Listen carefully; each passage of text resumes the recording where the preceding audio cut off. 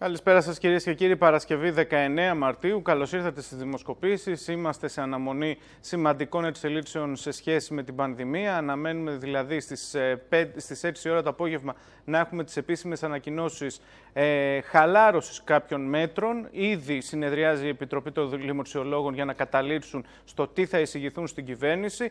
Αυτό που μέχρι στιγμής, σύμφωνα με πληροφορίες, έχει κλειδώσει είναι η παράταση του ωραρίου για, την, για τα Σαββατοκύριακα από τις 7 ε, η ώρα που ισχύει μέχρι και το Σαββατοκύριακο που μας πέρασε στις 9 η ώρα. Μένει να τα δούμε φυσικά όλα αυτά. Πάντως, σε κάθε περίπτωση, η επιδημιολογική εικόνα της ε, χώρας ε, δεν είναι σε καλό επίπεδο. Έχουμε αυξημένο αριθμό κρουσμάτων, διασωληνωμένων και θανάτων, κάτι το οποίο ανησυχεί πάρα πολύ την κυβέρνηση. Και μέσα σε όλο αυτό το πλαίσιο, φυσικά, έχουμε και την εκπνοή της προθεσμίας που είχε δώσει χθες ο Βασίλης Κικίλιας, προχθές μάλλον ο Βασίλης Κικίλιας, στους ε, ε, ιδιώτες ιατρούς, ώστε να συνδράμουν και να βοηθήσουν το Εθνικό Σύστημα Υγείας. Σύμφωνα με τις πληροφορίες που υπάρχουν, μόλις 50 περίπου ιδιώτες ε, γιατροί έχουν ε, αποδεχθεί την πρόσκληση του Υπουργείου. Θα δούμε βέβαια πώς θα εξελιχθεί, γιατί ο κύριος Κικίλιας, ο Υπουργός Υγείας, είχε κάνει λόγο ακόμα και για επίταρξη ιδιωτών.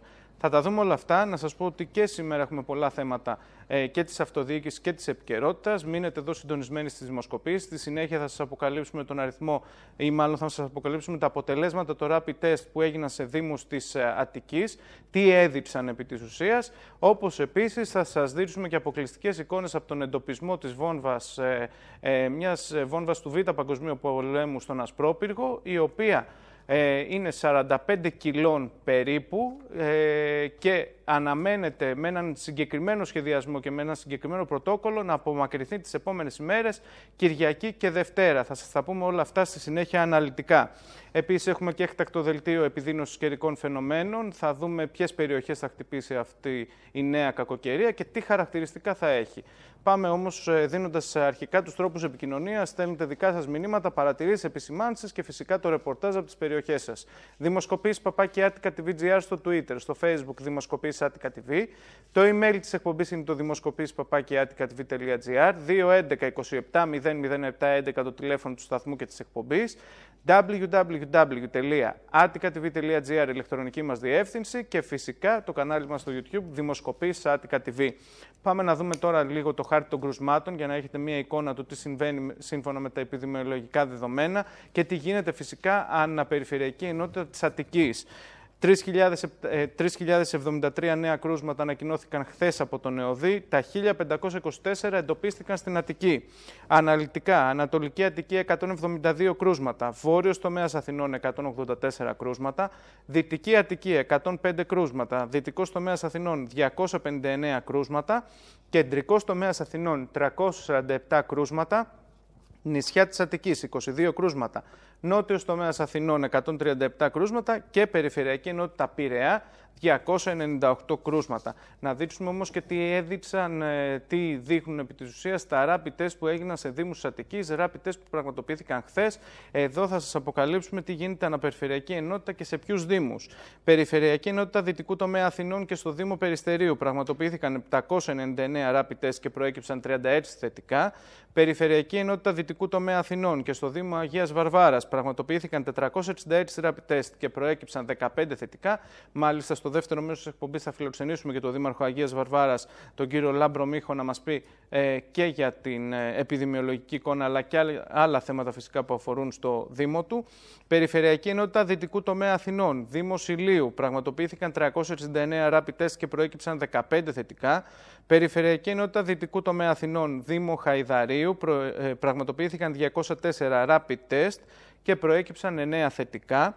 Περιφερειακή Ενότητα Κεντρικού Τομέα Αθηνών, σταθμός Μετρό Σύνταγμα. Πραγματοποιήθηκαν 517 rapid test και προέκυψαν 8 θετικά και κλείνουμε με Περιφερειακή Ενότητα Πειραιά, Κεντρική Αγορά Αθηνών. Πραγματοποιήθηκαν 429 rapid test και προέκυψαν 7 θετικά.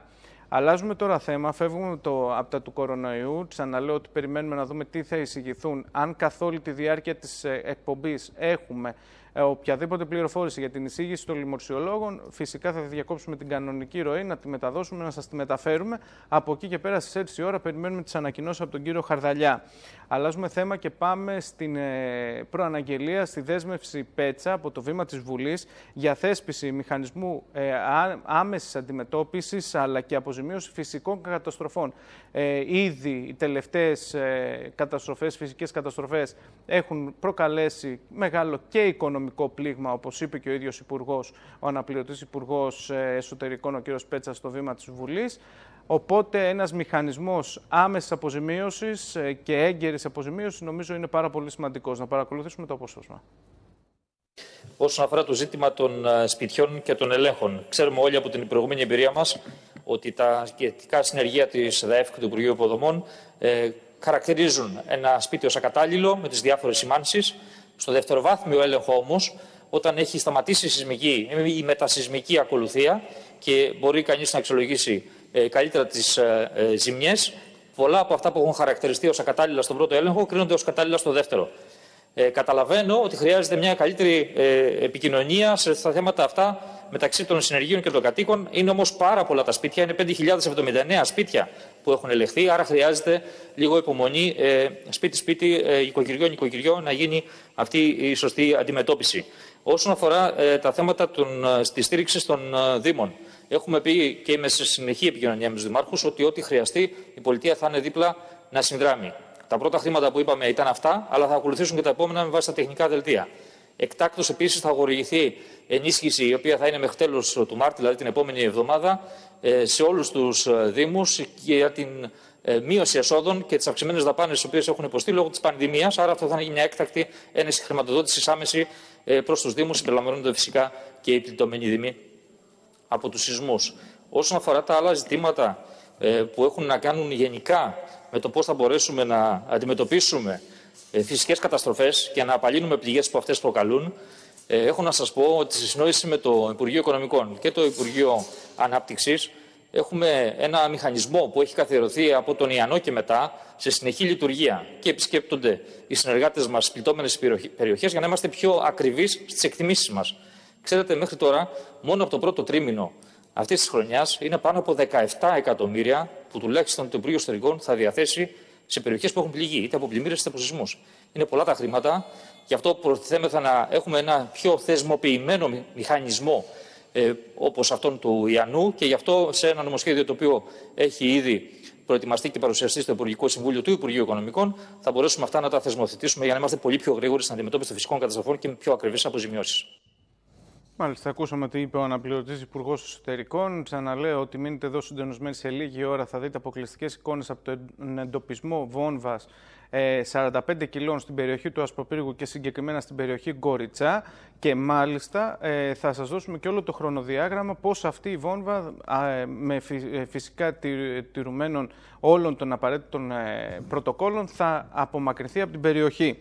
Θα πάμε σε αυτό το σημείο όμως να δούμε τι γίνεται μετά του καιρού, αν, ε, τι, τι προβλέπετε για αυτή τη νέα μεταβολή που είχαμε και, ε, είχαμε και πριν από λίγη ώρα έκτακτο δελτίο επιδείνωση από την Εθνική Μετεωρολογική Υπηρεσία, ποιες περιοχές θα, ε, θα πλήξει αυτή η κακοκαιρία και τι χαρακτηριστικά θα έχει. Φυσικά στην τηλεφωνική μας γραμμή είναι ο μετεωρολόγος, ο πολύ γνωστός μετεωρολόγος, ο κύριος Νίκος Καντερές, να μας πει περισσότερες λεπτομέρειες. Κύριε Καντερέ, καλησπέρα. Καλησπέρα κύριε Λεμό, σε εσάς και στους ακροατές σας και με έκπληξη άκουσα για την βόμβα στην κορυφαία στη γνώριμη μου περιοχή του Ασφροπύργου. Ε... Εντοπίστηκε, εντοπίστηκε χθες ε, και γίνεται, γίνονται ήδη απαραίτητες ε, ε διεργασίες. Οριστέ. Αυτή από πότε είναι; Είναι από το Β' Παγκόσμιο Πόλεμο. Τι λέτε; 45 κιλών. Ο, ο, Μάλιστα, θα πάνε όλα καλά. Όμως αντιλαμβάνεστε, έχει ξαναγίνει αυτό στην περιοχή του αεροδρομίου. Ναι, ναι, ναι, το ξέρω παλιά και στην Ελεσίνα, ναι. Ε, λοιπόν, πάμε για τον καιρό. Ε, να πούμε καταρχάς ότι αύριο μπαίνουμε τυπικά στην άνοιξη ημερολογιακά τουλάχιστον από αύριο το μεσημέρι γιατί είναι με αστρονομικούς χρόνους μπαίνουμε λοιπόν τυπικά στην άνοιξη και θα πήγει ο χειμώνας. Ο χειμώνας όμως δεν θα πήγε. Ο χειμώνα θα παραμείνει γιατί όπως είπατε και εσείς ένα έκτακτο δελτίο αρχίζει από αύριο το απόγευμα για να επηρεάσει και την Κυριακή. Βασικά οι περιοχές οι οποίες θα περασούν θα είναι από την Αττική και πάνω. Δηλαδή Θεσσαλία, Μακεδονία, Ήπειρος, νησιά Ιωνίου, Δυτική και Κεντρική Στερεά και μέρος της ε, Θράκης θα επηρεαστούν με βροχές, με αρκετά χιόνια, κυρίως σε ορεινές περιοχές και μια πτώση θερμοκρασίας. Ενώ αντίθετα από Αθήνα και νεότερα, νοτιότερα κυρίως Κυκλάδες, Δωδεκάνηση και Κρήτη θα θυμίζει μάλλον καλοκαίρι. Έτσι θα είναι ο καιρός λοιπόν αυτό το διήμερο. Η Αττική δεν θα νιώσει κάτι το ιδιαίτερο, θα μπρέξει ίσως πιθανόν, αλλά όχι όμως σοβαρά πράγματα. Περισσότερος ο καιρός αυτός θα είναι, ο είπα, από Θεσσαλία και πάνω. Ε, αυτό κύριε Καντερέ έχει ιδιαίτερο ενδιαφέρον, ειδικά για τις περιοχές που ε, είχαμε προβλήματα το προηγούμενο διάστημα από, τις, από το σεισμό, από τον ναι. σεισμό που έγινε στη Θεσσαλία. Ε, νομίζω ότι είναι, πρέπει να εστιάσουμε λίγο. Σαφώς, γιατί έχω και επικοινωνία με ε, κανάλι της Θεσσαλίας και θα το επισημαίνουμε και αύριο, ενώ πράγματι ο καιρός γενικά τους πήγαινε η ήπια αυτή την περίοδο και επειδή πέρασαν και αρκετές ημέρες η κατάσταση βελτιώθηκε γιατί πήγαν και αρκετά έτσι οι κύματα για mm-hmm. πρώτες ανάγκες δεν, ήταν, δεν είναι τόσο επιτεθειμένα όπως ήταν παλιότερα. Έτσι λοιπόν αυτή η κακοκαιρία που θα τους βρει θα την νιώσουν πολύ εντονότερα. Αλλά τουλάχιστον θα έχουν περισσότερα μέσα να την, να την αντιμετωπίσουν. Αλλά δεν φτάνει μόνο αυτό. Mm-hmm. Συνέχεια έχει ο καιρός γιατί Δευτέρα, Τρίτη και Τετάρτη θα έρθει ένα άλλο νέο το οποίο θα επηρεάσει όλη τη χώρα το οποίο θα δώσει ξανά βροχέ και καταιγίδες και χιόνια, κυρίως δυτική, κεντρική και βόρεια Ελλάδα. Θα επηρεάσει και την Αττική αυτός ο καιρός με τις πρώτες ημέρε της άλλης εβδομάδας. Και μάλιστα από τη Δευτέρα, Τρίτη και Τετάρτη η θερμοκρασία θα πέσει και αισθητά. Θα έχουμε δηλαδή ε, μια περίοδος τουλάχιστον ακόμα ημερών ότι είμαστε ακόμη ε, ουσιαστικά στο χειμώνα. Για να πάμε, για να πούμε στη συνέχεια, τη βελτίωση βασικά είναι από την ε, ημέρα της Εθνικής Γιορτής, 25 Μαρτίου και κυρίως Παρασκευή και άλλο Σαββατοκύριακο βελτιώνεται πλέον ο καιρός. Άρα, Άρα μας αποχαιρετά ο Μάρτιος με, με δύσκολες καιρικές συνθήκες. Ναι, για να αποδειχθεί ότι είναι και εκδάτες. Άρα λοιπόν αυτό το Σαββατοκύριακο βασικά από Αττική και πάνω, από Δευτέρα, Τρίτη και Τετάρτη όλη σχεδόν η χώρα και με αυτό τη θερμοκρασίας. Μάλιστα. Θέλω να σας ευχαριστήσω θερμά κύριε Καντερέ. Να είστε καλά. Καλή συνέχεια. Πάντα ε, ο κύριος Καντερές πάντα ανταποκρίνεται στη, στην πρόσκλησή μας και πραγματικά είναι μία από τις ψύχρονες, ε, ψύχρεμες, πολύ ψύχρεμες φωνές.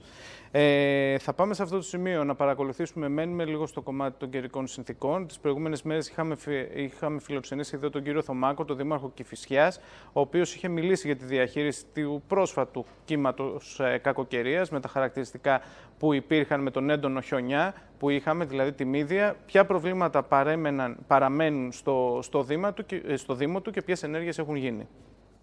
Ε, σήμερα λοιπόν ε, κύριε Λεμό, ε, χιλιάδες τόνοι ε, κυπαία, πράσινα απορρίμματα βρίσκονται ακόμα στα πεζοδρόμια και στους δρόμους, καθώς οι υπεραντατικές προσπάθειες του Δήμου, ιδιωτών που έχει προσλάβει ο Δήμος και της περιφέρειας που μας βοηθάει σημαντικά και ευχαριστώ για αυτό, δεν επαρκούν. Δεν επαρκούν διότι βγαίνουν συνέχεια νέες ποσότητες από τα σπίτια, από τις αυλές. Γι' αυτό και το πρώτο πράγμα που θέλω να ζητήσω από τους συμπολίτες, εκτός από υπομονή, είναι συνεργασία σε αυτό.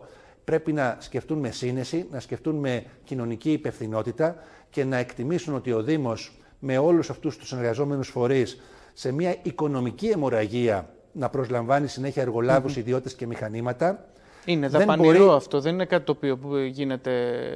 Ε, υπάρχει κόστος. Φυσικά και υπάρχει κόστος, αλλά η διαχείριση γίνεται πάρα πολύ δύσκολη έως αδύνατη αν οι πολίτες δεν κατανοούν το πρόβλημα και δεν περιμένουν λίγο να βγάλουν τη, δική, τη δική τους κυπαία ύλη.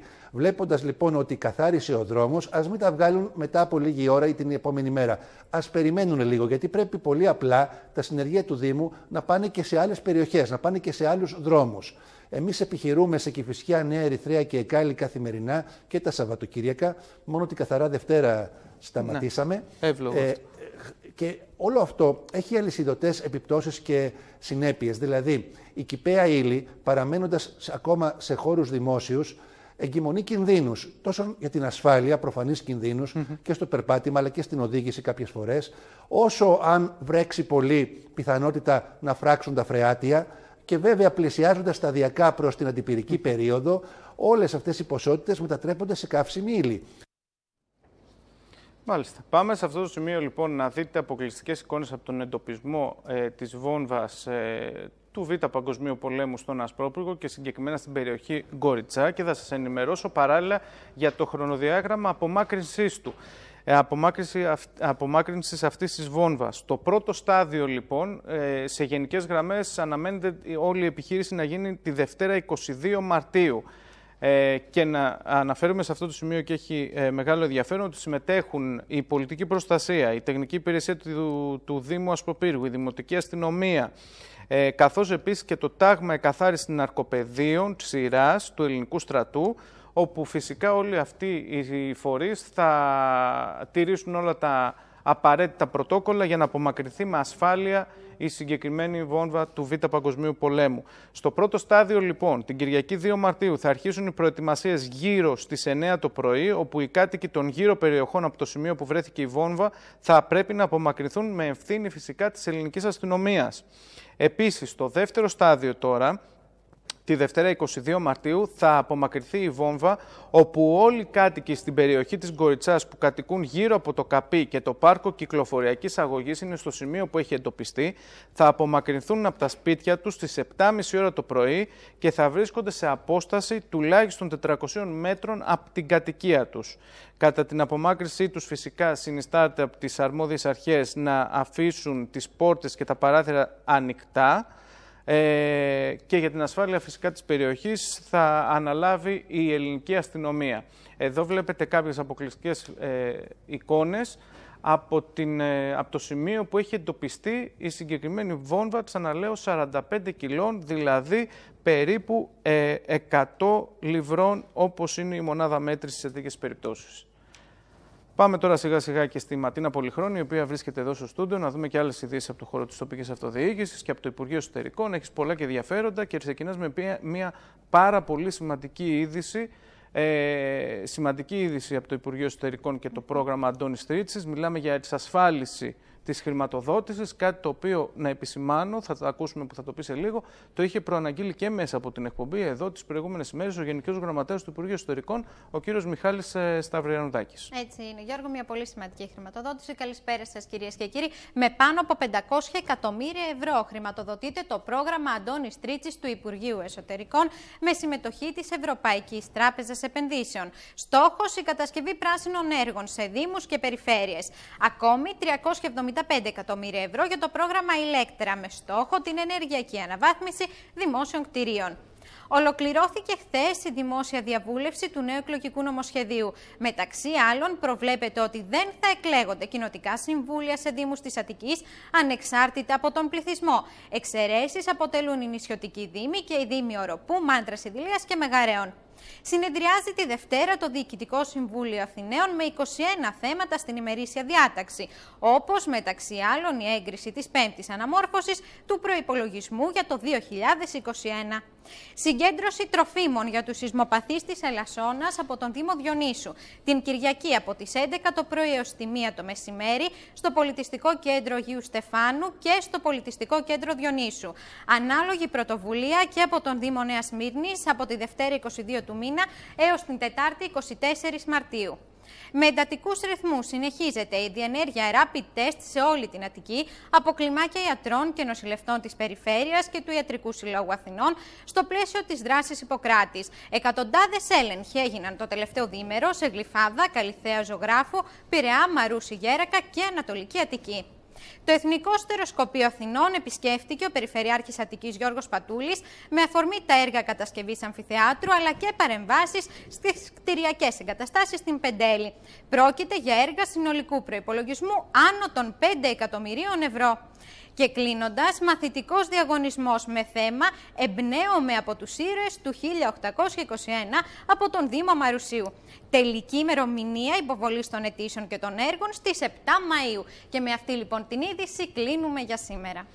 Ολοκληρώθηκε λοιπόν 18 του μήνα η δημόσια διαβούλευση και μάλιστα όπως ενημερωθήκαμε και από το Υπουργείο Εσωτερικών είχαμε περίπου χίλιες παρατηρήσεις οι οποίες έχουν κατατεθεί και σύμφωνα με το Υπουργείο ε, θα ληφθούν υπόψη ώστε να διαμορφωθεί τέλος πάντων το τελικό νομοσχέδιο το, το οποίο θα πάει προς ψήφιση ε, στη Βουλή.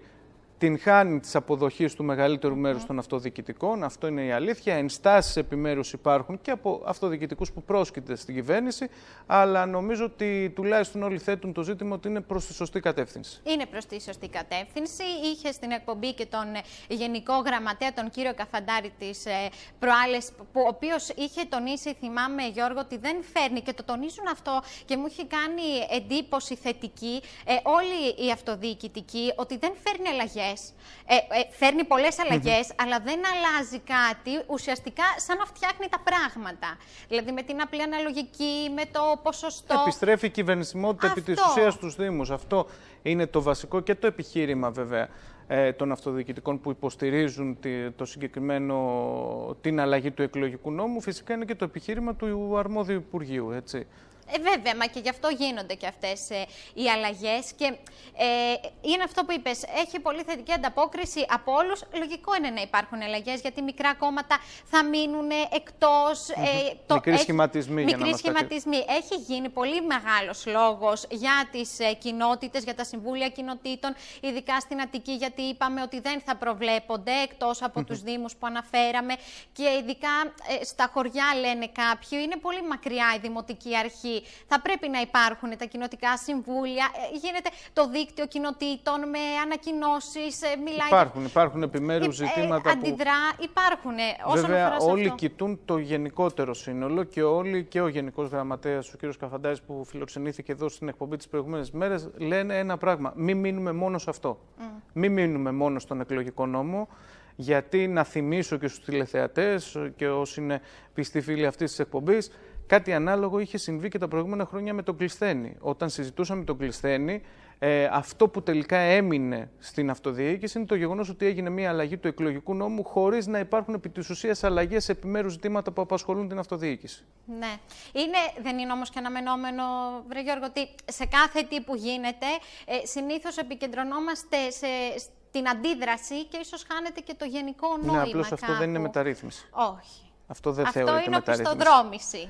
Οπισθοδρόμηση. Όχι, γενικότερα μεταρρύθμιση ε, θεωρείται όταν ε, διορθώνεις, αλλάζεις Ναι. προς το βέλτιστο, προς το καλύτερο, επιμέρους ζητήματα που απασχολούν ένα τομέα. Όταν αλλάζεις μόνο τον εκλογικό νόμο δεν θεωρείται μεταρρύθμιση. Και γι' αυτό ο Γενικός Γραμματέας του Υπουργείου Εσωτερικών ε, είχε πει εδώ στην εκπομπή ότι το αμέσως επόμενο βήμα είναι φυσικά η χάρτα της αυτοδιοίκησης, ένας κώδικας τοπικής αυτοδιοίκησης που θα ξεκαθαρίζει όλα τα ζητήματα μέσα σε ένα κώδικα χωρίς να χρειάζεται ένας δήμαρχος να πηγαίνει μπρος-πίσω τις νομοθεσίες καθώς επίσης και η πολυεπίπεδη διακυβέρνηση που είναι το επόμενο μεγάλο στοίχημα. Για να δούμε και αυτό, Γιώργο, τι θα γίνει. Και θα κλείσουμε φυσικά με την, ε, να αναφέρουμε για άλλη μια φορά ότι συγκε- συγκεντρώνεται βοήθεια ακόμα για τις περιοχές που έχουν πληγεί και είναι ιδιαίτερος ε, κρίσιμη περίοδος. Ακούσαμε και τον κύριο Καντέρε πριν ότι οι, πληγέ- οι περιοχές που έχουν πληγεί, ειδικά της Θεσσαλίας, θα αντιμετωπίσουν ε, ισχυρές βροχοπτώσεις μέσα σε- στις επόμενες ημέρες.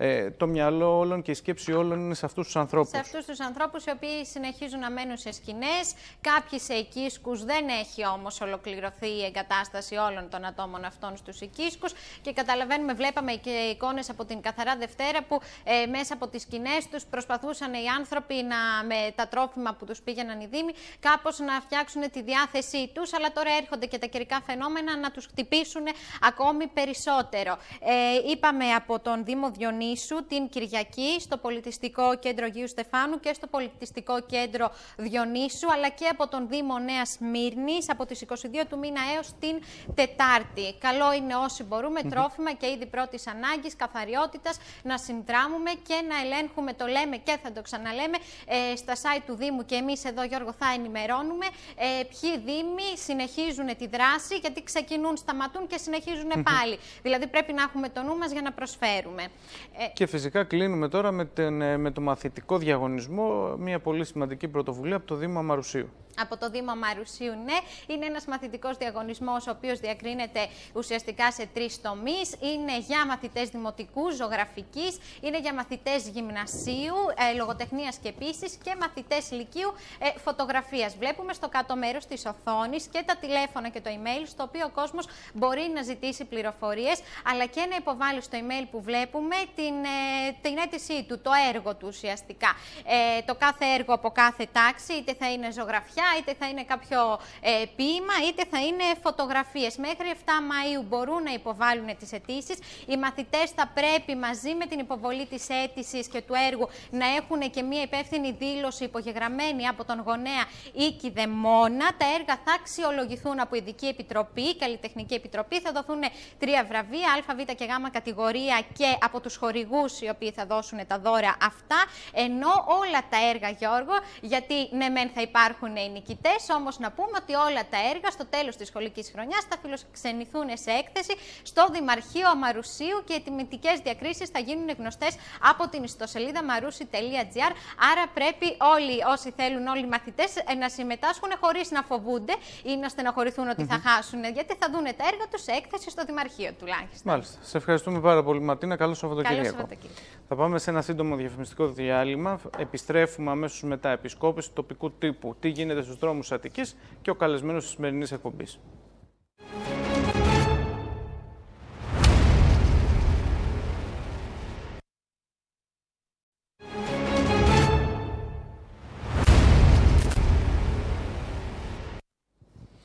Επισκόπηση λοιπόν του τοπικού τύπου, δεύτερο μέρος της εκπομπής. Ε, πάμε να δούμε τι, γράφει, ε, τι γράφουν τα πρωτοσέλιδα των τοπικών εφημερίδων. Αμέσως μετά φυσικά θα υποδεχτούμε τον δήμαρχο της σημερινής εκπομπής, όπου θα συζητήσουμε για πολλά ζητήματα. Είναι ένα πολύ έμπειρος ε, δήμαρχος, ο κύριος Λάμπρος Μίχος από την Αγία Βαρβάρα. Πάμε λοιπόν να δούμε τα πρωτοσέλιδα τι γράφουν. Ξεκινάμε με την εφημερίδα Επικαιρότητα Δυτικής Αττικής. Με νέα παρέμβαση Μπούρα προχωρούν οι ενισχύσεις στους επαγγελματίες Ελευσίνας Ασπροπύργου Μάνδρας Ιδηλίας το κεντρικό θέμα της εφημερίδας Επικαιρότητα. Επίσης, απολογισμός πεπραγμένων εμέσων αποχωρήσεων και αντιδράσεων. Μιλάμε για την περιφέρεια Αττικής. Συνεχίζουμε τώρα, πάμε στην εφημερίδα Θριάσιο. Ολοταχώς προς μερικό άνοιγμα δραστηριοτήτων, τα άδεια κρατικά ταμεία και η κούραση των Ελλήνων οδηγούν σε μονόδρομο. Ανακοινώσεις θα έχουμε σήμερα το απόγευμα. Συνεχίζουμε με την εφημερίδα Αμαρισία. Πολίτες ε, άνοιξαν την καρδιά τους για να στηρίξουν τους σεισμόπληκτους της Ελασσόνα. Είναι το κεντρικό θέμα της εφημερίδας ε, Αμαρισία. Συνεχίζουμε τώρα με την εφημερίδα Συνείδηση. Το σπίτι των αλυσμόνιτων πατρίδων, τι σημαίνει η παρουσία του Άδων Γεωργιάδη, του Γιώργου Πατούλη, της Δέσποινας Μαΐδου στο Ιωνικό Κέντρο της Μητρόπολης, Νέας Ιωνίας και Φιλαδέλφειας. Και θα κλείσουμε με την εφημερίδα Μαχητική Φωνή, απομάκρυνση των πυλώνων από τη Νέα Πεντέλη, έναρξη του έργου παραλλαγής γραμμών μεταφοράς. Είναι το κεντρικό θέμα της εφημερίδας Μαχητική Φωνή. Πάμε κατευθείαν δίπλα μου βρίσκεται ένας από τους πιο έμπειρους δημάρχους, ε, ξαναλέω, ο κύριος Λάμπρος Μίχος, ε, είναι ο Δήμαρχος Αγίας Βαρβάρας. Δήμαρχε, σας ευχαριστώ θερμά που βρίσκεστε εδώ. Και εγώ σας ευχαριστώ για τον ίδιο λόγο, γιατί μου δίνετε την ευκαιρία να ανταλλάξουμε απόψεις.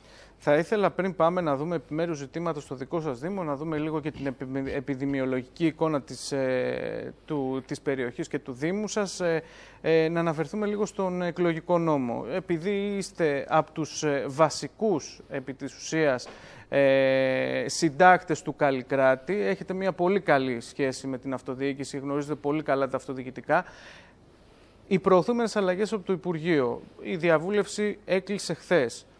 Πώς τις βλέπετε, πώς τις αξιολογείτε, θεωρείτε ότι είναι προς όφελος της αυτοδιοίκησης, θα βοηθήσουν την αυτοδιοίκηση; Ακούστε, αν λάβουμε υπόψη μας την κατάσταση που έχουμε τώρα, γιατί με τον κλειστένη τον νόμο που η κυβέρνηση η προηγούμενη θέσπισε και αναφέρομαι κυρίως στο εκλογικό σύστημα με το οποίο επιλέγονται οι δημοτικές αρχές, η λύση, όποια λύση θα δινόταν επαναφοράς περίπου στο παλιό καθεστώς, είναι σωτήρια. Διότι υποστηρίχθηκε ότι θεσπίζεται η απλή αναλογική, αλλά εισήχθη μόνο το εκλογικό σύστημα της απλής αναλογικής, ενώ το σύστημα διακυβέρνησης των Δήμων εξακολουθούσε να μένει προσαρμοσμένο στην ενισχυμένη αναλογική, στο πλειοψηφικό δηλαδή δεν έγιναν οι αλλαγές και τομές, ούτως ώστε με το σύστημα της απλής αναλογικής να μπορούν να διοικηθούν οι Δήμοι. Σας λέω ένα πολύ απλό παράδειγμα. Όποιος δήμαρχος δεν επετύχανε το 50% mm συν μία ψήφο, θα πήγαινε στο δεύτερο γύρο. Πήγαινε στο δεύτερο γύρο και αποκτούσε εξ αυτού του λόγου μία ενισχυμένη νομιμοποίηση, μια πολύ ισχυρή νομιμοποίηση. Γιατί πήγαινε στο δεύτερο γύρο σωστά, γιατί με βάση το σύστημα διακυβέρνησης, φορέας και εκφραστής της πολιτικής εντολής που παίρνει από τους δημότες είναι ο Δήμαρχος. Ποια είναι η πολιτική εντολή, να εφαρμόσει ένα συγκεκριμένο πρόγραμμα. Τον πα λοιπόν στη δεύτερη Κυριακή, παίρνει την πλειοψηφία, δίνεις πολιτική εντολή να εφαρμόσει ένα συγκεκριμένο πρόγραμμα και μετά τον στέλνεις στο λάκκο των Λεόντων. Σε ένα σύστημα γιατί ουσιαστικά έχει... που δεν μπορεί να την εφαρμόσει αυτή την εντολή. Γιατί, και η δύναμη του έχει καταγραφεί από την πρώτη, από την πρώτη Κυριακή. Βέβαια, γιατί ενώ δεν έχει πάρει εντολή, δεν έχει τη δύναμη να την εξασκήσει. Γιατί δεν έχει τη δύναμη να την εξασκήσει, διότι με το σύστημα της απλής αναλογικής μπορεί να είναι μειοψηφία. Γιατί ο αριθμός των συμβούλων που έβγαλε είναι ο αριθμός των συμβούλων που προέκυψε από τα ποσοστά της πρώτης Κυριακής. Πήρε 20, 30, 40, 49, 50, δεν έχει πλειοψηφία. Και θα καταφύγει ενδεχομένως ή θα αποζητά την ψήφο και τη στήριξη ενός συμβούλου, ο οποίος μπορεί να πήρε το 1-1,5% γιατί με τον κλεισθένη δεν ήταν ανάγκη να συμπληρώσει το εκλογικό μέτρο. Και με βάση τα υπόλοιπα, έστω και αν δεν συμπλήρωνες το εκλογικό μέτρο, μπορείς να βγάλεις δημοτικό σύμβουλο. Και να είσαι λοιπόν έρμεο ή ε, υπό τη διαχείριση ενός ανθρώπου. Ο να γινόντουσαν ρυθμιστές ουσιαστικά παρατάρσει με. Ένα... Έχουμε τέτοιες περιπτώσεις ακραίες. Βέβαια, έχουμε και περιπτώσεις όπου ένας δήμαρχος, θυμάστε παλιά στον Ασπρόπυργο, με 19% είχε νικήσει ένα δήμαρχο που στον πρώτο γύρο είχε πάρει 49%. Ε, αλλά από τη στιγμή που ο λαός επιλέγει στο σύνολό του να δοθεί σε αυτόν η πολιτική εντολή, να εφαρμόσει. Λοιπόν, ε, νομίζω λοιπόν ότι το σύστημα αυτό όπως επανέρχεται τώρα με την ενισχυμένη αναλογική, το πλειοψηφικό θα λέγαμε, είναι σωτήριο όπως το είπα, σε σχέση με αυτό που παραλάβαμε. Εγώ νομίζω το έχω ξαναπεί στην εκπομπή σας, είμαι ο παδός της απλής αναλογικής. Αλλά όταν λες απλή αναλογική, εννοείς να εκφραστούν όλες οι πτέρυγες της κοινωνίας, να εκφραστούν να, συνολικά η θέληση της κοινωνίας με τον πιο αυθεντικό τρόπο και μετά να κάτσουν όλοι αυτοί και να εκλέξουν και τον Δήμαρχο, να διαμορφώσουν την πολιτική, το πρόγραμμα που θα εφαρμοστεί. δεν γίνεται να μην υ... θέλεις αυτό. Υπάρχει όμως, Δήμαρχε, αυτή η κουλτούρα. Ε, έχετε ζήσει πολλές ε, ε, πολλές πτυχές της αυτοδιοίκησης, πολλά χρόνια υπάρχει κουλτούρα σήμερα να, κάτσουν, να, να γίνει αυτό που λέτε εσείς, να κάτσουν όλες οι παρατάξεις να εκλέξουν δήμαρχο και ένα πρόγραμμα που θα ακολουθήσουν. Είναι ένα πολύ ενδιαφέρον ερώτημα και νομίζω ότι θα έπρεπε πάνω σε αυτό βαθιά να προβληματιστούμε. Αυτό συνέβη, πρέπει να σας πω, υπήρχε τέτοιο σύστημα εκλογικό το 1964. Θυμίζω ότι ε, ενώ είχε ο Νίκος Κιτσίκης πλειοψηφία στην Αθήνα, ένας ε, υποψήφιος δήμαρχος αριστεράς. Τελικώς εξελέγει ο Παυσανίας Κατσότας του κέντρου, γιατί ήταν προϊόν του Πλητά, του Κατσότα, του Κιτσίκη κλπ. Θα έπρεπε να αρχίσουμε να διαπαιδαγωγούμε τον κόσμο σε μια τέτοια λογική διαμόρφωσης κατά αυτόν τον τρόπο προγραμματικών πλειοψηφιών. Δεν γίνεται όμως αυτό, αυτή η παιδαγωγική ας πούμε ε, οργάνωση της κοινωνίας με τον τρόπο που το εφάρμοσε ο, ο, ο ΣΥΡΙΖΑ, που είπε δηλαδή κάνω απλή αναλογική, έχω ένα συμβούλιο που αποτελείται από 500, έχει εντολή ο Δήμαρχος αλλά δεν μπορεί να την εφαρμόσει και μετά κόψτε το λαιμό σας. Σε ρίχνω σε ένα βάραθρο, σε πετάω σε ένα ωκεανό και κολύμπα. Έφτασε λοιπόν η κυβέρνηση τούτη να θεσπίσει ρυθμίσεις για να μπορούν οι Δήμοι να κυβερνηθούν. Αυτό που βέβαια θα έπρεπε να γίνει, δεν έχει γίνει ακόμα, παρότι εξαγγέλλεται. Γιατί έχουμε αυτή την ανακολουθία, αυτή τη δυσκολία, για το λόγο ότι το Δημοτικό Συμβουλίο είναι το κυρίαρχο όργανο, σωστά, αλλά ασχολείται και με πράγματα που δεν θα έπρεπε να ασχολείται. Είδατε τώρα με, το, με αυτό που προέκυψε στα βόρεια προάστια με το δέντρο. Με τη μύδια. Με τη μύδια. Και λέγανε ότι έπρεπε, το είπα και εγώ σε κάποιες συνεντεύξεις, σε κάποια άρθρα που έγραψα, ότι για να κόψεις ένα δέντρο πρέπει να γίνει αυτοψία. Να πάρει απόφαση η Επιτροπή Ποιότητας Ζωής να πάει στο Δημοτικό Συμβούλιο γιατί τελικά το Δημοτικό Συμβούλιο αποφασίζει κυριαρχικά για το αν θα κοπεί ένα δέντρο ή όχι. Να εγκρίνει το δασαρχείο, να βγάλεις άδεια μικρής κλίμακας από την πολεοδομία και μετά να κόψεις το δέντρο. Αυτό πέρα από αυτό το ζήτημα που συζητάμε ότι το Δημοτικό Συμβούλιο δεν θα έπρεπε να έχει όλες αυτές τις αρμοδιότητες. Δήμαρχε, αυτό γίνεται, ε, συγγνώμη παρένθεση, Παρακαλώ. σε όλες τις περιπτώσεις γίνεται αυτό. Ακόμα και αν κρυθεί ότι αυτό το δέντρο είναι επικίνδυνο, για παράδειγμα. Για να κρυθεί το, το δέντρο ότι είναι επικίνδυνο από τον Πρέπει να γεωπόνο περάσει του όλη Δήμου, αυτή τη διαδικασία. Πρέπει να περάσει όλο αυτό τον κύκλο. Γι' αυτό σας λέω λοιπόν το Δημοτικό Συμβούλιο έχει εξουσίες τέτοιες που αν το τεμαχίσει σε κομμάτια της απλής αναλογικής, δεν πρόκειται να κινηθεί τίποτα. Ούτε τα δέντρα δεν θα κοπούν, ούτε τα πεζοδρόμια δεν θα φτιαχτούν. Τι ελέω εγώ, τι έλεγα εγώ, τι λέει η αυτοδιοίκηση χρόνια πολλά, ανεξαρτήτως κομματικών ας πούμε ε, κατευθύνσεων. Λέει ότι το Δημοτικό Συμβούλιο πρέπει να είναι βουλευόμενο όργανο. Τι θα πει αυτό; Θα αποφασίζει για το πρόγραμμα.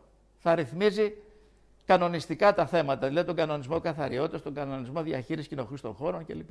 Θα έχει κανονιστική αρμοδιότητα. Θα ασκεί λογοδοσία ουσιαστική και θα έχει έλεγχο όπως είναι ο κοινοβουλευτικός έλεγχος. Τα άλλα τα θέματα εκτελεστικής αρμοδιότητας Να πάνε στι επιτροπές. θα πάνε στα εκτελεστικά όργανα. Ποια είναι εκτελεστικά όργανα, είναι ο Δήμαρχος και οι αντιδήμαρχοι που ορίζει. Όλα αυτά θα τα λύνουν εκεί και θα πάει συστηματικά με τρόπο κανονικό, με προποθέσει, να ελέγχεται από το Δημοτικό Συμβούλιο. Υπάρχει και ένα σύστημα στην Αγγλία βέβαια, που ο Δήμαρχος είναι ε, ε, θεματοφύλακας των νόμων, ας πούμε, της στήριξη των διαδικασιών. Και εκεί έχει έναν εκπρόσωπο της υγείας, της παιδείας και είναι σαν υπουργοί αυτοί. Ο Δήμαρχος δεν διοικεί, διευθύνει μόνο το Δημοτικό Συμβούλιο. Μπορούμε και σε αυτό το σύστημα. Ο Καλλικράτης που έγινε απέδωσε το απάβγασμα όλων αυτών των εμπειριών και είπε ο καλύτερος τρόπος για να είναι αποτελεσματική η Δήμη, να αξιοποιήσουν κονδύλια, να εκφράσουν τη λαϊκή βούληση και να κάνουν σωστή δουλειά, τώρα που τρέχουν κονδύλια, ιστορίες που έχει ανάγκη η κοινωνία, είναι αυτό. Τον έκανα, κάναμε τον Καλλικράτη λοιπόν, ως συνέπεια όλων των επεξεργασιών που είχαν γίνει. Δεν υπήρχε σκοπιμότητα να κλείσουμε κάτι, να ανοίξουμε κάτι, να εξυπηρετήσουμε κάποιον. Σε, αυτό, σε αυτή τη λογική σας έλεγα λοιπόν ότι το ουσιαστικό ζήτημα δεν έχει κρυθεί. Τι λέει έλεγε η αυτοδιοίκηση ανέκαθεν; Ότι πρέπει να υπάρξει επιτελικό κράτος. Αυτό συνιστά τη μεγάλη ανατροπή. Τι, τι εννοώ; Τι σημαίνει αυτό; Όχι τα ψευδεπίγραφα επιτελικό του ένα, ψηφίζουμε νόμο για το επιτελικό, αυτά με συγχωρείτε είναι σαν χλαμάρες. Επιτελικό κράτος σημαίνει να κρατήσει το κράτος τις εθνικές αρμοδιότητες, δηλαδή την εθνική άμυνα, τη δικαιοσύνη, τη δημόσια τάξη, την εκπαίδευση, την εξωτερική πολιτική και τα άλλα όλα Την υγεία. είναι συζητήσιμο. Σας λέω γιατί έχει ανοίξει ε, Όχι, μια συζήτηση γι' αυτό. Κοιτάξτε, η- ο σχεδιασμος που αφορά το- το- το- την οργάνωση του, του συστήματος υγείας είναι εθνική πολιτική. Αλλά η διοίκηση των κέντρων υγείας, ο σχεδιασμός πολιτικών, γιατί κοιτάξτε η δημόσια και κοινωνική υγιεινή, η αγωγή υγείας, η προληπτική ιατρική, είναι υποθέσεις που πρέπει να τις διαχειριστεί η τοπική κοινωνία. Εμείς ξέρουμε καλύτερα. Υπάρχουν και επιδημιολογικά συμπτώματα που προσδιορίζονται από τις κλιματικές συνθήκες, από τις εργασιακές συνθήκες. Εγώ τις ξέρω καλύτερα. Δεν είναι άντε κάνουμε ένα σύστημα υγείας το ίδιο και για εκεί που έχει λιγνίτες και για εδώ που έχει χωματερές και για εκεί που έχει... Διαφοροποιούνται, είναι διαφορετικά τα χαρακτηριστικά. να- Βεβαίως. Άρα η- το θέμα της υγείας και της Είναι ένα παιδείας ξεχωριστό κεφάλαιο. πρέπει να κρυθεί και θα σας πω πώς κρίνεται, γιατί βάζουμε δύο θέματα στο τραπέζι. Επιτελικό κράτος και πολυεπίπεδη διακυβέρνηση, που τις λέμε μεν αλλά δεν τις εννοούμε. Και τα άλλα λοιπόν να πάνε στην αυτοδιοίκηση. Αυτό συνιστά τη μεγάλη ανατροπή. Όλα τα άλλα δεν έχουν αξία. Τι σημαίνει πολυεπίπεδη διακυβέρνηση, που και αυτή εξαγγέλθηκε και προηγουμένως από την προηγούμενη κυβέρνηση. Και τώρα εξαγγέλθηκε από τον προηγούμενο Υπουργό και ενδεχομένως θα ξαναανακοινωθεί από τούτο τον Υπουργό. Αλλά πρέπει. Τι σημαίνει πολυεπίπεδη διακυβέρνηση. Να πάλι το παράδειγμα της Μύδιας. Υπήρχε Χαρδαλιάς, Πατούλης, Θωμάκος στην Κηφισιά και ψάχνουμε ακόμα τις αρμοδιότητές μας. Πολυεπίπεδη αρμοδιότητα σημαίνει να οριοθετηθούν οι αρμοδιότητες του κάθε επίπεδου. Πρώτος βαθμός, δεύτερος βαθμός, αποκεντρωμένο κράτος ή κεντρικό κράτος. Και αυτό είναι το ένα σκέλος. Και το άλλο σχέ- σκέλος είναι η αλληλεπίδραση των δύο επιπέδων, των τριών επιπέδων Γιατί υπάρχουν κάποια, Διοίκησης. κάποια ζητήματα που αλλά τι σημαίνει όμως αυτό, δεν είναι απλά ένας σχεδιασμός επί χάρτου. Σημαίνει ότι εγώ που θα έχω οριοθετημένα στις δικές μου αρμοδιότητες, με βάση την Ευρωπαϊκή Αρχή της εγκύτητας και επικουρικότητας, τι σημαίνει αυτό εγκύτητα; Ότι εγώ θα ασχολούμαι με τα θέματα τα τοπικά μου, εγώ τα ξέρω καλύτερα. Αλλά δεν είναι μόνο αυτό, δεν θα ασχολούμαι μόνο με τα τοπικά μου. Εγώ θα καθορίζω και τον τρόπο άσκησης των αρμοδιοτήτων μου. Γιατί τώρα τι γίνεται; Έχω μεν αρμοδιότητες εγώ, δεν μπορώ όλες να τις κάνω υπηρεσίες γιατί δεν έχω τα μέσα να τις κάνω. Και δεύτερον, τις αρμοδιότητες και πώς θα τις ασκώ μου τις καθορίζει το κεντρικό κράτος. Δεν είναι δυνατόν. Εγώ θα καθορίζω. Δηλαδή, έτσι γίνεται ουσιαστική και η δημοκρατική συμμετοχή. Δηλαδή, με βάση τις ανάγκες, αυτό που απαιτεί ο κόσμος μου, αυτό που είναι ανάγνωση της πραγματικότητας, γίνεται θεσμός, τον εκφράζει η πρωτοβάθμια αυτοδιοίκηση και διοικεί με τον τρόπο που αυτή αξιολόγησε ότι πρέπει τις υποθέσεις της. Και όταν υπερβαίνει το, το, το επίπεδο ας πούμε του δικού μου θεσμού η, μια υπόθεση, έχει ένα δια, διαβαθμιδικό ενδιαφέρον, πάλι ορίζεται στο σύστημα πολυεπίπεδης διακυβέρνησης πώς θα με εξυπηρετήσει εμένα ο Περιφερειάρχης ή αν χρειαστεί και η αποκεντρωμένη διοίκηση. Γιατί και αποκεντρωμένη έχει έναν αποκλειστικό ρόλο. Δηλαδή αρχαιολογία για παράδειγμα και δασαρχείο εκ του συντάγματος δεν μπορεί να πάει στην αιρέτη αυτοδιοίκηση, ούτε στην πρωτοβάθμια, ούτε στην. Πρέπει να μείνει η αρμοδιότητα του κράτους. Έτσι λέει το Σύνταγμα. Ναι, αλλά δημιουργεί πολλά προβλήματα. Δημιουργεί προβλήματα. Άρα λοιπόν θα χρησιμοποιήσεις το δασάρχη και τον αρχαιολόγο στα, με βάση την, την αλληλεπίδραση των βαθμίδων της δικής μου με τη δική του. Αλλά ξέρει εκείνος που θα φτάσει. Δεν γίνεται τώρα εγώ για να, να σκάψω, να γίνει σύνδεση του νερού Πρέπει να πάρει άδεια για να σκάψει δηλαδή 20 πόντους. Πρέπει να πάρει άδεια ο Δήμος και ο ιδιώτης για να κάνει σύνδεση παροχής νερού σας λέω τώρα έτσι. Πρέπει να πάρει άδεια από την αρχαιολογική υπηρεσία. Ενώ μπορεί να κρυθεί μέχρι ποιο βάθος ας πούμε μπορεί να παίρνει. Αν είναι να σκάψεις μέχρι ένα μέτρο θα τη δίνει την άδεια ο Δήμος. Αν είναι παραπάνω ενδεχομένως που να είναι Κάποιες άλλες κάτω αρχαία ερήπια ή περιοχές που έχουν... Σας λέω δηλαδή πράγματα Εμείς έχουμε, ας πούμε, στην Αγία Ροβάρα ένα βουνό, έχει δάσος εκεί. Ένα κομμάτι είναι ιδιωτικό δάσος, ένα δημόσιο δάσος. Δεν ασχολείται τώρα το δασαρχείο με το ότι τα 500 δέντρα από τα χίλια έχουν, κινδυνεύουν να καταστραφούν και ασχολείται με το να μου δώσει άδεια για να κόψω ένα δέντρο που βρίσκεται στην πλατεία του, της πόλης. Άρα λοιπόν, για να ολοκληρώσουμε, ο Καλλικράτης είχε ρυθμίσεις. Η κύρια ρύθμιση ήταν να ενώσει πολλούς Δήμους για να υπάρχουν οικονομίες κλίμακας. Και αυτό είναι πολύ απλό. Δηλαδή, πέντε χωριά ή δέκα χωριά ήταν αναγκασμένα να έχει το καθένα στο δικό του απορριμματοφόρο. Πήγαινε άδειο και άδειαζε στη χωματερή με 500 με μισό τόνο. Ενώ με ένα απορριμματοφόρο και τα 10 χωριά την κάνανε τη δουλειά. Άρα η οικονομία κλίμακα. Αντί να πάρουν 10 απορριμματοφόρο, θα παίρνουν ένα απορριμματοφόρο, ένα σχολικό λεωφορείο, ένα γκρέιντερ, αυτή και, ήταν η και οι υπηρεσίες γενικότερα που συγχωνεύτηκαν μέσα σε ένα δίκτυο. Άρα λοιπόν, όσον αφορά τον νόμο που λέτε, τον καινούριο της αυτοδιοίκησης, εγώ είμαι σύμφωνος στην επαναφορά ενός συστήματος που δεν θα είναι αυτό όπως ήταν δηλαδή μια πλαστή απλή αναλογική, που στην ουσία δημιουργεί ακυβερνησία στους Δήμους. Και αυτό δεν το λέω εγώ γιατί έτσι μου ήρθε. Το έλεγα πριν εφαρμοστεί ο νόμος, πριν ψηφιστεί κιόλας και είχα, μου είχε δοθεί ε, ευκαιρία και παρόντος του Σκουρλέτη να του το πω. Το λέω τώρα με βάση την εμπειρία. Ήταν πάγια θέση σας αυτή από την πρώτη στιγμή που είχατε ακούσει. Λοιπόν, τώρα για το αν θα είναι 43% ή θα είναι 42-44%, νομίζω ότι είναι λανθασμένη αυτή η επιλογή. Θα έπρεπε να πάει στο 50% όσο ήταν. Και αν δεν το πιάσει, να πάει παραπάνω. Δεν ξέρω γιατί έγινε 43, παλιά ήταν 42 και γιατί να μην γίνει 45. Αυτό μπορεί να μην έχει σκοπιμότητα, αλλά δεν σου δίνει εύκολα την, την, την άνεση να πεις ότι δεν έχει σκοπιμότητα. Γιατί ρωτάς εύλογα, γιατί 43 και όχι 43 μισό ή 42 μισό. Το άλλο θέμα το οποίο έχει νομίζω πραγματική αξία είναι όλο αυτό το ζήτημα που γίνεται με τις κοινότητες. Δηλαδή τα χωριά, όταν τα ενώσαμε σε ένα δήμο... Την κατάργηση επί της ουσίας. Ναι, δεν είχαμε σκοπό να κάνει η έδρα του Δήμου, ας πούμε, και να αγνοεί τα χωριά. Τέτοιες δικλείδες ασφαλείας για να μπορούν να εξυπηρετούνται και τα χωριά και όχι μόνο η έδρα του Δήμου, δεν τις φτιάξαμε. Πρέπει να φτιαχτούν. Το να ζητάνε κάποιοι να ξαναδοθούν αρμοδιότητες στα χωριά, ας πούμε, είναι επαναφορά στην προ καλλικράτη εποχή. Αυτό που σας είπα που θα έπρεπε να αποφύγουμε. Δεν είναι όμως μαύρο-άσπρο. Μπορούμε να βρούμε μέσες λύσεις.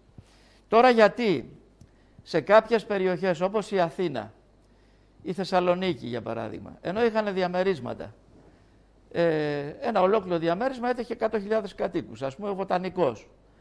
Θα έπρεπε οι κάτοικοι εκεί να έχουν τη δική τους ε, συμμετοχή στη διαμόρφωση των προδημοκρατικό προγραμμάτων. Τώρα καταργεί από ό,τι κατάλαβα τα διαμέρισματα, γιατί είναι λάθος μόνο το Δημοτικό Συμβούλιο να εκφράζεται. Με, μέσω των, των συμβούλων και να μην υπάρχουν τα συμβούλια ας πούμε, μιας ενός διαμερίσματος. Ε, Άλλες βασικές παρατηρήσεις, εντάξει, υπάρχουν απόψεις από εδώ, υπάρχουν απόψεις και από εκεί. Υπάρχουν και άλλα επιμέρους ζητήματα. Πάμε όμως, ε, Δήμαρχε, και σε άλλα θέματα. Θέλω πολύ σύντομα για να πάμε λίγο και σε θέματα που αφορούν στο Δήμο σας. Ε, να δούμε τι γίνεται με τον κορονοϊό, ποια είναι η κατάσταση σύμφωνα με τα στοιχεία που έχετε στο δικό σας Δήμο. Και θα ήθελα να κλείσουμε τη συζήτησή μας ε, επιγραμματικά να μας πείτε, επειδή είναι ζητήματα τα οποία είναι εμβληματικά και στόχοι δικοί σας και για το Πάνθεον, τι συμβαίνει από εδώ και πέρα ε, τι γίνεται με το κολυμβητήριο που είναι ένα προσωπικό σας ε, στίχημα ώστε να υλοποιηθεί, αλλά φυσικά και με τα 38 στρέμματα που έχει καταφέρει ο Δήμος και έχει στην, ε, στην περιουσία του εντό αγωγικών, τα οποία θα αξιοποιηθούν με τον τρόπο που θα μας πείτε εσείς. Θα σας πω αμέσως, όσον αφορά την πανδημία, ε, καλό είναι σε κάθε περίπτωση, δεν είναι για τώρα μόνο, να προβλέπουμε και να οργανωνόμαστε για να αντιμετωπίσουμε τους κινδύνους που θα έρθουν. Να μην είμαστε επιμηθείς, να είμαστε προμηθείς. Ο Δήμος μου δεν έκανε τίποτα παραπάνω από όσο έκαναν οι άλλοι Δήμοι, για να είμαι πολύ ειλικρινής. Απλά ό,τι κάναμε, το κάναμε με πολύ μεγάλη αγάπη. Είναι εκπαιδευμένοι άνθρωποι εκεί, είναι ευαισθητοποιημένοι πολύ και το κάνανε με πολύ συνέστημα. Και έχει σημασία αυτό. Μπορεί να δώσεις ένα πιάτο φαΐ αντί για δύο πιάτα και ένα κοτόπουλο και ένα αρνί αλλά ο τρόπος που θα το δώσεις και η αγάπη που θα του δείξεις έχει τη μεγαλύτερη νομίζω σημασία και αξία. Είμαστε φτωχός Δήμος, αλλά νομίζω ότι σε αυτό το πεδίο της αναγνώρισης της αξιοπρεπούς υποστήριξης των ανθρώπων ε, νομίζω δώσαμε ένα πολύ καλό παράδειγμα. Τίποτα παραπάνω από τους άλλους Δήμους, ίσως και λιγότερα. Αλλά αυτό όμως το πετύχαμε. Μπορεί όλοι, αλλά αυτό όμως έχει πολύ μεγάλη σημασία. Πρέπει να σας πω ότι το επιδημιολογικό φορτίο, όπως μάθαμε τώρα για καινούργιου όρους της περιοχής... Τα, τα χρησιμοποιούμε και εμείς στη δημοσιογραφία. Τα χρησιμοποιούμε. Της Δυτικής Αθήνας είναι επιβαρημένο. Ε, νομίζω η δική μας ε, πόλη κρατάει χαμηλότερα ποσοστά από το μέσο όρο. Είναι πολλοί που λένε, γιατί εμείς κάναμε πολλά τεστ. Κάναμε και χτες, κάναμε και την προηγούμενη εβδομάδα, πήγαμε και στα σπίτια για τους ΑΜΕΑ και τους ανήμπορους. Λένε πολλοί, γιατί δεν δημοσιεύει ο Δήμος τα αποτελέσματα. Πρέπει να ξέρει ο κόσμος και όσοι μας ακούνε ότι δεν έχει δικαίωμα κανένας Δήμος να δημοσιεύει αποτελέσματα ενός ελέγχου τεστ, ας πούμε, μιας κίνησης που έγινε εκεί. Γιατί ο καθένας μα βγάζει λανθασμένα συμπεράσματα. Ο ΕΟΔΗ που τα δημοσιεύει και είναι ο μόνος αρμόδιος για να το κάνει, σταθμίζει πράγματα, έχει αλγόριθμους για να βρίσκει. Δηλαδή, μπορεί να δημιουργηθούν πλανημένες εντυπώσεις χωρίς να υπάρχει λόγος, αφού είναι επίσημη ενημέρωση. Με την ευκαιρία όμως πρέπει να σας πω, γιατί πρέπει να είμαστε πολύ εντάξει. Δεν σημαίνει επειδή έχουμε μια διοίκηση μπροστά μας πρέπει να τη βαράμε. Εγώ είμαι πολύ ευγνώμων, μπορώ να πω. Υποχρέωση του κράτους είναι βέβαια, αλλά οφείλω όμως να το αναγνωρίσω.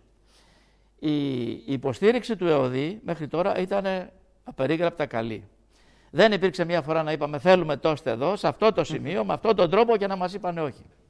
Τρέχανε οι άνθρωποι. Το ίδιο και θέλω δημοσίως να επενέσω τον, τους αρμοδίους εκεί. Το ίδιο και το νομαρχιακό νοσοκομείο εκεί της περιοχής, το πρώην Λιμωδόν, το οποίο το είχαμε απαξιώσει. Τώρα το στηρίξαμε, έχει μονάδα COVID για πιο ελαφρά περιστατικά. Έχει νομίζω νοσηλεύει περίπου 60 ανθρώπους. Δεν είναι λίγο να έχεις μια μονάδα τέτοια. Και κάνει και, είναι και εμβολιαστικό κέντρο και μας έκανε και εξετάσεις τεστ και πρέπει και εδώ δημοσίως να αναγνωρίσω τη συμβολή της διοικήτριας εκεί της κυρίας Βρίνα και όλο το προσωπικό για τη βοήθεια προσφέρει. Και είναι μια απαρχή να καταλάβουν όλοι ότι αυτό το νοσοκομείο πρέπει να επαναδραστηριοποιηθεί. Πάμε και σύντομα, πολύ σύντομα, Δήμαρχε, και στο έργο σας. Πώς εξελίσσεται σε αυτούς τους βασικούς που λέω, όσο πιο επιγραμματικά μπορούμε, γιατί πρέπει να κλείσουμε σε Αγαπητέ Γιώργο, πρέπει να σου πω ότι η μεγάλη μου αγωνία είναι ο κόσμος στην Αγία Βαρβάρα να μην ζηλεύει τίποτα από τους άλλους Δήμους. Πρέπει να τα έχει όλα εκεί. Πρέπει να μην νιώθει ασήμαντος, μηδαμινός. Πρέπει να μπαίνει στο Δήμο και να είναι άρχοντας να νιώθει. Και υπερήφανος που βρίσκεται. Και υπερήφανος που βρίσκεται εκεί. Να μην περιμένει στην ουρά, να μην νιώθει παραμελημένος. Λοιπόν, όσον αφορά τα μεγάλα έργα που είπες, έχουμε χρέος να τα υποστηρίξουμε και να τα διεκδικήσουμε. Μεγάλα θέματα είναι η ανεργία που θα προκύψει και θέλουμε να δοθούν ευκαιρίες και ευκολίες στην αυτοδιοίκηση να αξιοποιήσει προγράμματα. Και δεύτερο, το μέγιστο έργο είναι η υπογειοποίηση των πυλώνων που μεταφέρουν ρεύμα ψηλής και μέσης τάσης Πολύ και εγκυμονούνται κίνδυνοι για παιδική λευκαιμία. Και αυτό είναι, το είναι λέω, ένα το πάρα ξαναλέω. πολύ σημαντικό. Ε, θα, και σε επόμενη εκπομπή θα ασχοληθούμε Θα ιδιαίτερα χαρώ πάρα γιατί πολύ. είναι, είναι και θέμα δημόσιας υγείας. Δεν είναι μόνο το αισθητικό κομμάτι ή το πρόβλημα Βέβαια. που μπορεί να δημιουργηθεί. Είναι πραγματικά πρόβλημα που, ε, που ε, άπτεται της δημόσιας υγείας. Όσο για τα άλλα που είπε Κολυβητήριο Πάνθον, Ακαδημία Τεχνών, είναι, τα έχουμε βάλει, είναι στοίχημα δικό μας. Και να είσαι Και- βέβαιος θα το κερδίσουμε. Σας ευχαριστώ πολύ, Και Δήμαρχε. εγώ το ίδιο.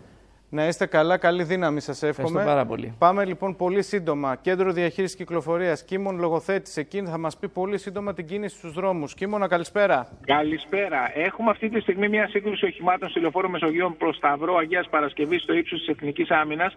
Δημιουργεί συμφόρηση ως τη Μιχαλακοπούλου. Και επιπλέον έχουμε συμφόρηση στην έξοδο του Κυφισού από Πειραιά προς λεωφόρο Αθηνών για Κόρυθο. Έχουμε στην άνοδο της Κυφυσίας συμφόρηση από την Αλεξάνδρας. Και, στη, και στη συνέχεια στην, ε, έχουμε και στη Βασιλίση Σοφίας ε, αυξημένη κυκλοφορία και στην κάθοδο του Κυφισού από Αττική Οδό έως Αχάρνων καθώς και στη Μεσογείων στην κάθοδο από την Κατεχάκη έως την Αλεξάνδρας και στην άνοδο της Βασιλίσης Σοφίας από το Χίλτον έως τη Λεωφόρο Αλεξάνδρας. Σε ευχαριστούμε πολύ, Κίμωνα. Καλή συνέχεια. Εγώ Καλό ευχαριστώ. Σαββατοκύριακο. Καλό Σαββατοκυριακό. Σε αυτό το σημείο κλείνουμε και τη σημερινή εκπομπή. Να σας πω επίσης μείνετε συντονισμένοι εδώ στο Attica TV και παρακολουθήστε στις 9 η ώρα ο Κώστας Αργυρός, ο πολύ καλός συνάδελφος και πολύ διακεκριμένος συνάδελφος, ε, για την, κε- με την καινούργια προσπάθεια «Πολίτες για την Ευρώπη» στις 9 η ώρα με πάρα πολλά και ενδιαφέροντα θέματα για την ε, Ευρωπαϊκή Ένωση και γενικότερα για τα διεθνή. Πάμε λοιπόν, ε, εμείς κλείνουμε, ανανεώνουμε, ανανεώνουμε το ραντεβού μας για τη Δευτέρα στις 3.30. Καλό Σαββατοκύριακο σε όλους.